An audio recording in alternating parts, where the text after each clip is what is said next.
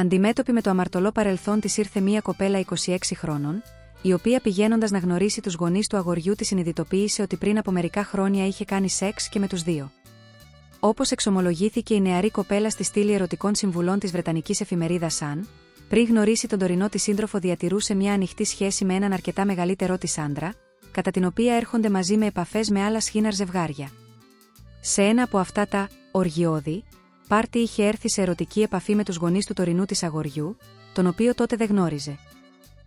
Όπως αναφέρει στην επιστολή της η 26 χρονή, το ζευγάρι ήταν τότε γύρω στα 50 και έδειχνε να κάνει τα πρώτα του βήματα στον κόσμο του Σχήνιν, αφού και οι δύο ήταν ιδιαίτερα ντροπαλοί.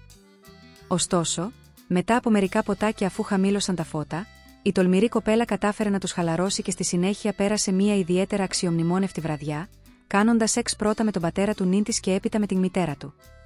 Η βραδιά ήταν τόσο απολαυστική που τα δύο ζευγάρια συναντήθηκαν αρκετές φορές μετά την πρώτη τους εμπειρία. Ωστόσο, όταν η 26χρονη γνώρισε τον τωρινό της σύντροφο, τον ερωτεύτηκε και ραυνοβόλα. Έτσι, αποφάσισε να βάλει τέλος στην ελεύθερη σχέση της αλλά και στην προηγούμενη, άστατη, ζωή της, εγκαταλείποντας μια για πάντα στο σεξ με άγνωστα ζευγάρια. Όπως φαίνεται όμως, το παρελθόν της νεαρής επέστρεψε για να την εκδικηθεί, αφού πηγαίνοντας να γνωρίζει τα μελλοντικά πεθερικά της αντίκρισε τους πρώην εραστές της. Όπως ήταν φυσικό, παρότι είδε στα μάτια τους ότι την αναγνώρισαν, οι γονείς του φίλου της έκαναν τους. Κινέζους, ενώ η ίδια δηλώνει τώρα απελπισμένη αφού δεν γνωρίζει αν πρέπει να αποκαλύψει την αλήθεια στο αγόρι της ή όχι.